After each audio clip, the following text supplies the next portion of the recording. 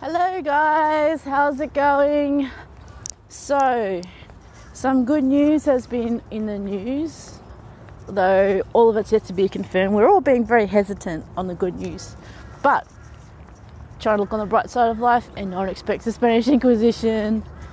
So, in Queensland, here in Australia, they've um, they're going to start to do hopefully trials by the end of the month um, with regards to treatment for the coronavirus. Go Queenslander! I can tell this will be another bone of contention for like a state of origin when it comes around. If it comes around, well, it should come around with treatments and stuff like that. Anyways, that's a positive thing. So I was thinking about today, I was listening to the radio, thinking about, yeah, we need some positives with regards to this.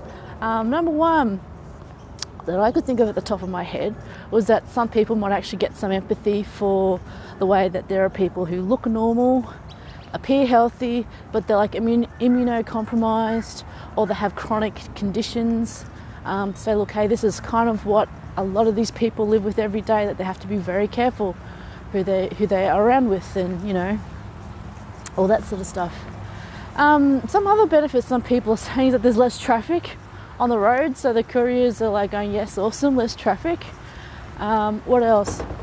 Um, kind of sucks that some industries are going to be um, experiencing a lot of bad times. However, um, for those places such as like restaurants, like thinking of it on the good side, you know, call up the restaurants and say, look, do you have any places or bookings, or can I make a booking? And um, you know, the the restaurants that are all booked out um, that you, you go to and um, or you want to go to, they might actually have spaces now for you to go out and have dinner.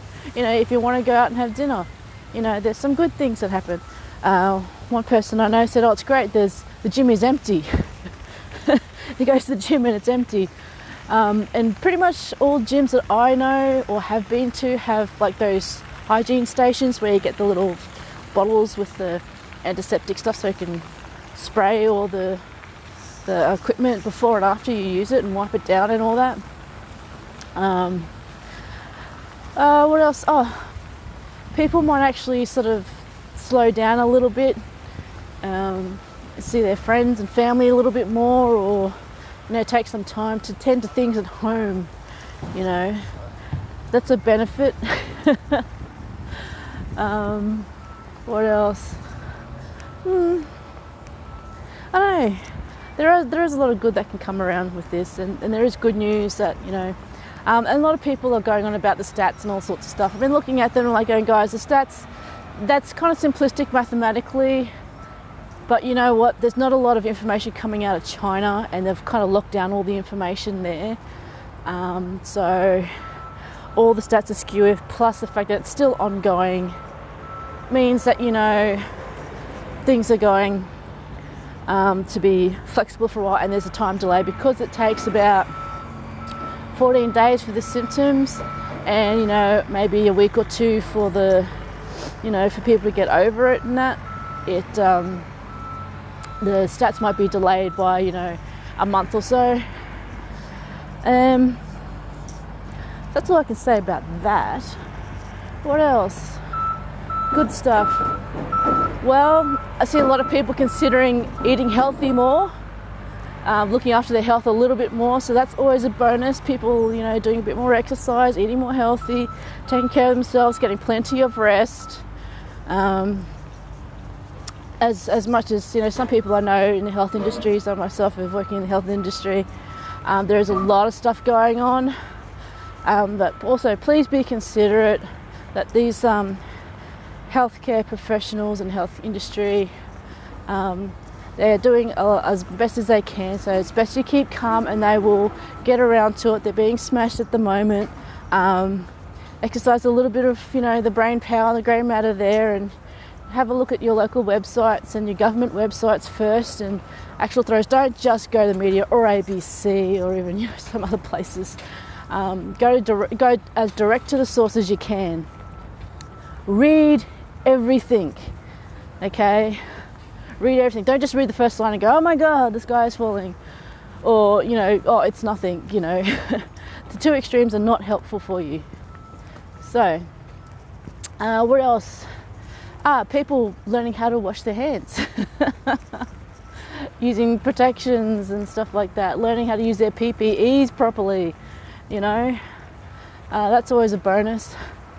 What else is a bonus? Ah, oh, the time when alcohol is good.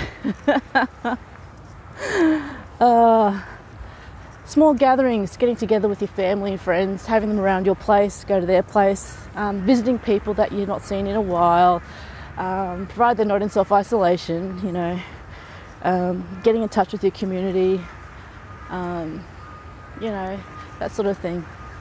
Anyway, so um, what are the good things you think have come about from this this panic? Me, I also think another good point is that watching some people's reactions, I can kind of see how some people are really susceptible to the media and how much media they consume. Um, so that's interesting for me, particularly about pe- around, in and around people that I know. Um, so, what's good um, about this current situation. What are you going to do that's going to be good? Um, oh God. the gardeners are all out and they're all getting healthy because they're getting some sun. You know, they get sun, they're very healthy that way, vitamin D. Um, so, what are you going to do that's going to be, you know, boost your immune system, make you happy? What's beneficial? Are you still going to go? You're going to try and search out places that you've been wanting to go to, didn't have the time for, or have previously been booked out or too crowded or whatever, that are still open. And are you going there? Are you going to go take trips and, and haunt your little local grocers and butchers and all that sort of stuff to help keep the local economy going? Um, and you're going to go finally see some of those friends that you've been wanting to see for ages. Okay. Anyway, what's today? Wednesday, hump day. Happy hump day. Hope things are going well with you guys. Uh, just remember um, to go as much go as direct to the source as you can. Don't just go to the news aggregates because they blow everything out of proportion.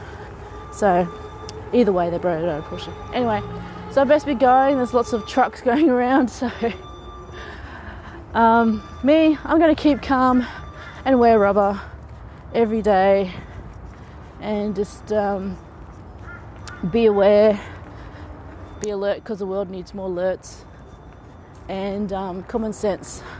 Hand hygiene, uh, rest well, get some sun, continue these morning walks as much as I can. Okay, catch you guys later. Bye.